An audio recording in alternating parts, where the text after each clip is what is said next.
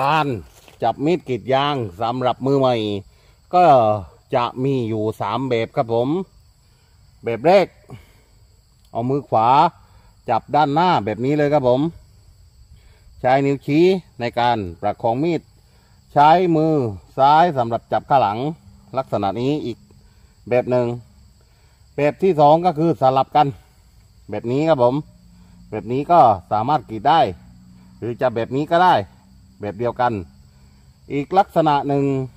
เป็นวิธีจับที่สามก็คือการกรีดมือเดียว ใช้ลักษณะนี้ครับผม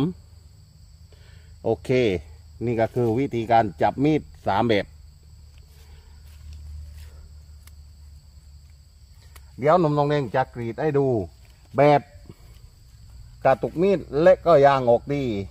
โดยไม่ต้องโลกหน้า จิกหลัง จิกหลังเพื่อสร้างแนว แล้วก็ทำการกรีดแบบออกนอกต้นยาง แบบนี้เลยครับผม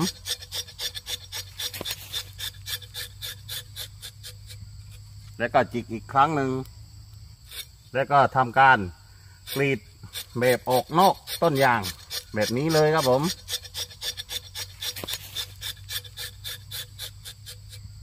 แล้วก็จิกอีกครั้งหนึ่ง